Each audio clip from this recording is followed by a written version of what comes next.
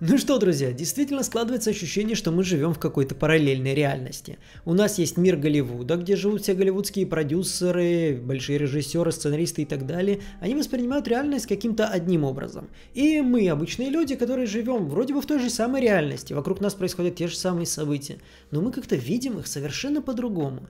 Голливуд живет в мире, где «Колесо времени» сериал Рейфа Джаткинса, судя по всему, был просто сумасшедшим успехом, который обязательно нужно повторить как можно больше различных произведений. Мы также живем, судя по всему, в мире, где Генри Кавилл в роли Супермена не интересен абсолютно никому. Но на сегодняшней новости будет еще одна, во время которой можно будет чуточку похихикать, чуточку потереть вот так вот ручками и немножечко позлорадствовать, получить немножко удовольствия. Поэтому давайте приступим. Сразу небольшой дисклеймер, я что-то не очень себя хорошо чувствую, температура полезла вверх, поэтому сегодня в плане энергии я буду немножечко так внизу, не так, как обычно вы привыкли меня видеть, но эти новости я просто действительно не мог пройти мимо них. Вначале новость о том, конечно же, что Генри Кавилл все-таки не вернется к роли Супермена. После того, как вышел Черный Адам, который абсолютно никому, судя по сборам, не был интересен, несмотря на то, что мне фильм, в принципе, норм вполне зашел, но все равно большая часть аудитории, которая пошла на этот фильм, пошла только лишь для последней сцены. Сцены, в которой Генри Кавилл возвращается в роли Супермена. После чего интернет просто взорвался.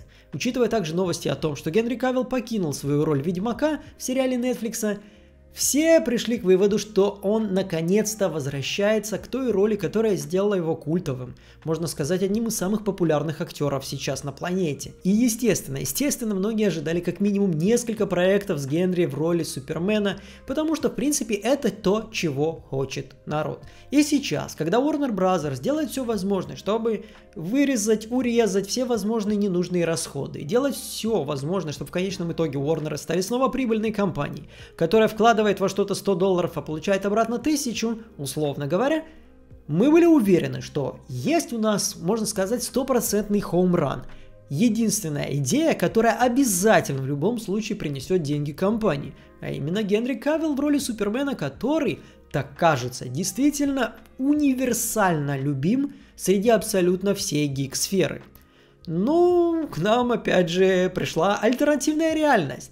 И сегодня, может быть вчера, Джеймс Ганн опубликовал у себя в Твиттере о том, что он работает над новым проектом. Они работают вообще над целым листом проектов для DCEU, для вот этой вот уни универс, господи, для вот этой вселенной DC, и в конечном итоге нас ждет проект о молодом Супермене, пока он работал журналистом и совмещал это с карьерой Супермена, если можно так говорить, и к роли Генри Кавилл не вернется. Вначале, если честно, я не понял, почему вся паника, почему все пишут о том, что Генри Кавилл точно не вернется к роли Супермена, потому что э, Джеймс Ганн также написал в Твиттере, что, мол, они встречались обсудили также огромное количество каких-то потенциальных проектов на будущее. Ну, я грешным делом подумал, что, наверное, в конечном итоге все-таки Генри вернутся – но, к сожалению, в своем инстаграме сам актер написал, что он не будет возвращаться к роли Супермена. И написал он это достаточно однозначно, без каких-либо возможных других интерпретаций. То есть в конечном итоге у меня складывается такое ощущение, что вот Warner сидят у себя дома, у них вот есть курица такая, которая несет золотые яйца. И они думают о том, что в принципе им нужно менять стратегию. Хватит уже с курицами. Э, в данной ситуации нам нужно что-то новое. Давайте попробуем построить корову, которая несет, я не знаю, не несет, а которая дает вместо молока нам нефть или что-то в этом роде. И для этого нам нужно обязательно пристрелить эту курицу. Вот я не могу понять эту логику, почему невозможно было сделать два проекта. Денег не хватает. Но если у вас не хватает денег, не стоило ли бы, конечно же, вложить эти деньги, которые у вас ограничены, в тот проект, у которого гораздо больше перспектив – на то, чтобы отбиться, на то, чтобы получить деньги, потому что только лишь на фандами, уже без каких-либо вложений маркетинга, вы заработали как минимум десятков миллионов с этого фильма, в котором Генри Кавилл играл бы Супермена. Я не понимаю, что происходит. Я... Многие так доверяют Джеймсу Гану. Джеймс Ган, он же такой визионер, величайший гений. А что он такого сделал-то, до сих пор я не могу понять. Кроме Стражи Галактики первых. Что еще он такого мега крутого сделал? Прям вот, чтобы вот можно было схватиться за голову и сказать, боже, действительно, это же гениальнейший гений. Писмейкер хорош. Но у него есть определенный стиль у Джеймса Гана. Я очень надеюсь, что этот стиль марловских э, смехуёчков не переедет и обратно в DCU. Я надеюсь на это. Даже если он не перейдет, говорит ли это о том также, что Джеймс Ган сможет выдержать нужный нарратив и нужную тональность, которая требует вселенная DC, которая очень отличается от Марвеловской? Я не хочу всю вселенную в стиле Писмейкера и в стиле Отряда самоубийц. Я не знаю, как вы, мне кажется, что это будет просто капец какая трагедия. Ну, раз мы уже заговорили о трагедиях, давайте перейдем к вам. Точнее, к нам, поклонники God of War, бога войны. Приключения Кратоса в Скандинавии. Который теперь точно будет экранизирован, адаптирован не абы для кого, а для Амазона.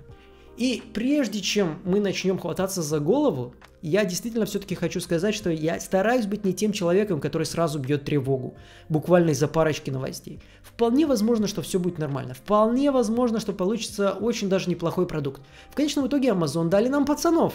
Кому-то они нравятся, кому-то нет, но в целом общепризнатое мнение, что это хороший сериал. В основном большее количество людей его любит, чем ненавидит. Да, если мы возьмем, например, «Колеса власти», гораздо больше людей ненавидит этот сериал, чем его прям реально любят. И что мы знаем на данный момент по поводу этого проекта?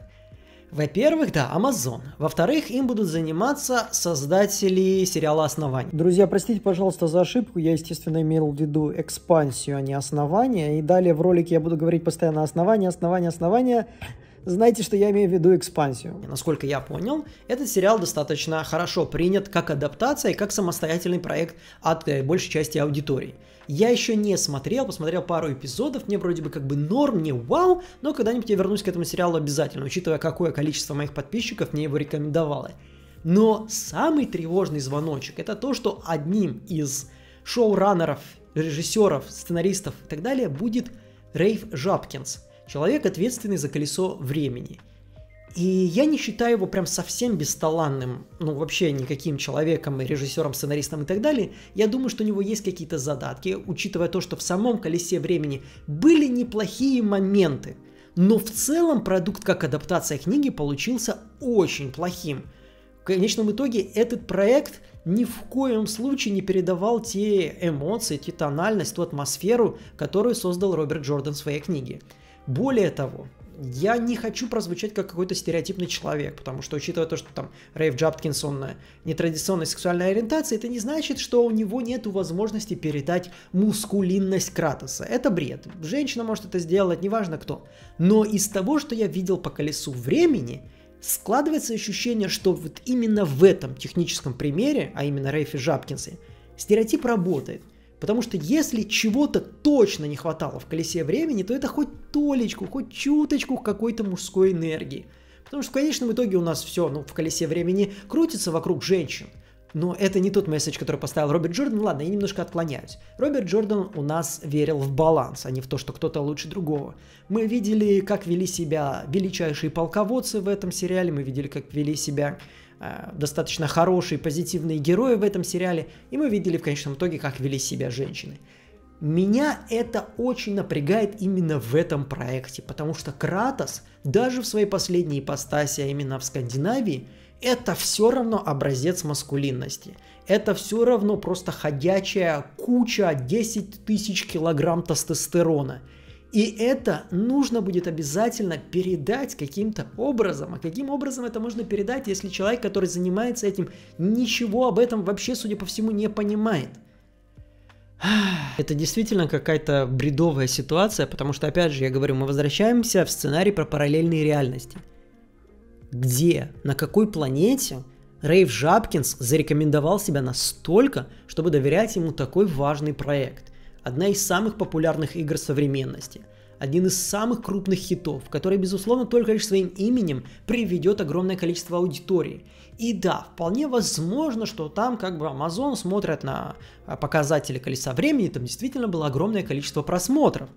Но может быть, может быть, всего лишь чуточку послушайте меня. И мне кажется, что это достаточно логично.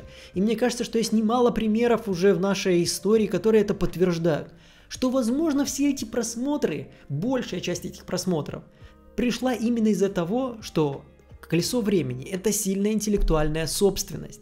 Которая приведет огромное количество аудитории вне зависимости от качества конечного продукта. Мы видели, например, это с новой кинотрилогией «Звездных войн», где сборы падали, я не помню точно 100%, но, по-моему, они падали из фильма в фильм, потому что аудитория, которая изначально приходила на title «Звездные войны», в конечном итоге все более и более разочаровывалась, и все менее и менее людей приходили на показы.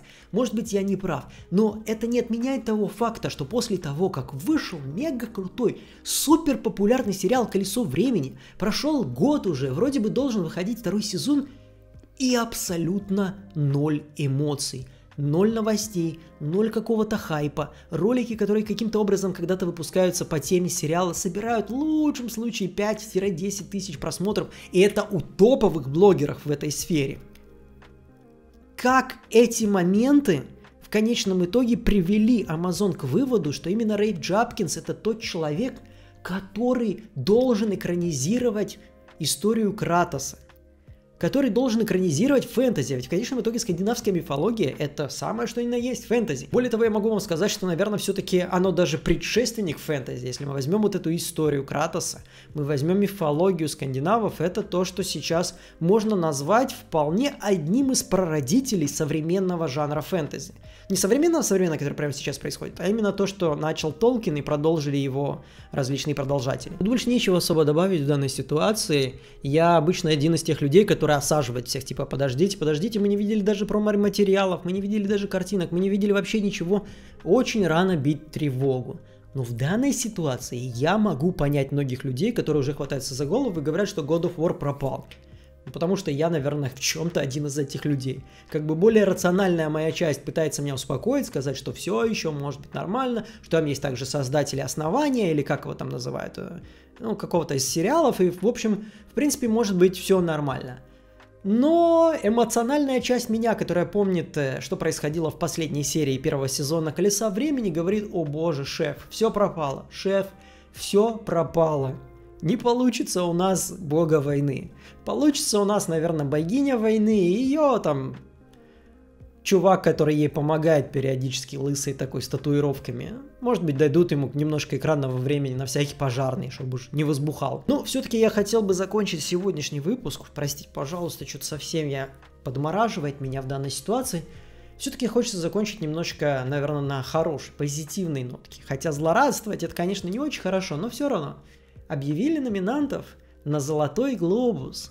Одна из наиболее престижных наград, которые могут получить фильмы или сериал. И да, например, тот же «Дом дракона» получил всего лишь две номинации. Лучшая сериал «Драма» и лучшая актриса первого плана Эмма Дарси, которая играла Рейниру, взрослую Рейнира. Всего лишь две номинации, и в целом даже «Игра престолов», насколько я знаю, по-моему, только один раз выиграла «Золотой глобус». Но есть у нас сериал, который должен был стать просто феноменом, который должен был покорить сердца и умы всех людей этого мира и убедить нас в том, что Amazon это вообще корпорация добра и ни в коем случае ничего плохого не делает в своей жизни. Кольца власти. Миллиардный проект, который загнобили злые, вот токсичные расисты. Тоже не получил ни одной номинации.